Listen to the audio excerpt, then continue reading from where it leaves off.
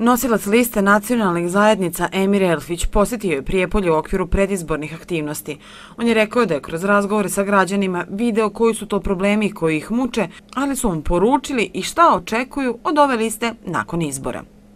Ja sam ponosan na sve ono što smo učinili u ovom periodu, ponosan sam na sve aktivnosti koje smo preduzeli da bi mogli izaći na, na e, dolazeće izbore, ponosan sam na način na koji smo vodili kampanju koji je potpuno drugačiji od onoga što smo do sada viđali proteklih 20 godina, kampanju gdje smo se neposredno teli družiti e, i razgovarati sa ljudima, vodili smo kampanju od vrata do vrata i bukvalno u svakom sanđačkom gradu i u većem dijelu vojvođanskih opština gdje e, djeluju naši koalicijni partneri koji su na listi nacionalnih zajednica, razgovarali i dotakli se sa ljudima.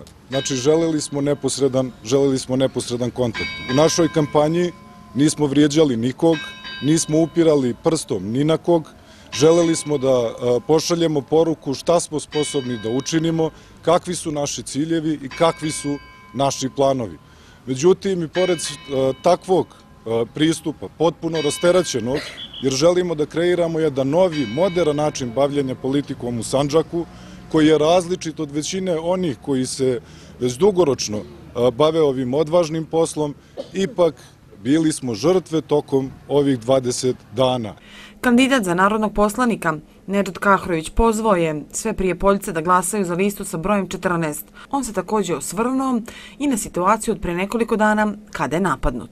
Zna se da je e, poslušnik Muamera Zukurlića e, Samir Tandir spremio e, delikventa koji je poznat našoj policiji po takvom i još niz drugih kriminalnih dešavanja, bukvalno da ga da me liši života.